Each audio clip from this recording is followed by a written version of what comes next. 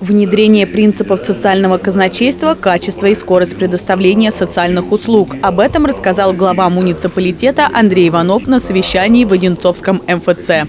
Основные э, тезисы, основные векторы этого э, проекта – это, конечно, э, максимальная цифровизация, снятие всех возможных административных барьеров, уменьшение количества справок, свидетельств и различных документов, которые необходимо было собирать для получения той или иной льготы.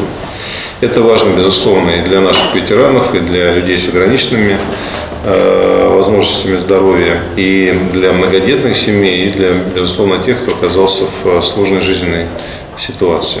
В Одинцовском округе более 150 тысяч получателей социальных услуг. Елена – многодетная мать. Недавно она получила социальную карту для родителя, компенсацию на школьную форму и услуги ЖКХ. Выплаты пришли вовремя, а разобраться совсем ей помог представитель администрации.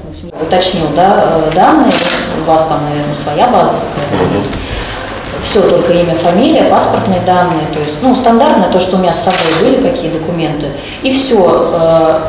При выписке мы получили уже все документы, которые требуются ребенку вот, с первых дней жизни, как гражданину, у все уже было. Кроме того, через портал госуслуг можно обратиться за комплексными услугами по разным направлениям. Рождение ребенка, скоро в школу, многодетная семья, безработные, малообеспеченная семья, пенсия. Такая форма взаимодействия с жителями максимально удобна, подчеркнул глава муниципалитета. Меры социальной поддержки назначаются в беззаявительном порядке и по принципу одного окна.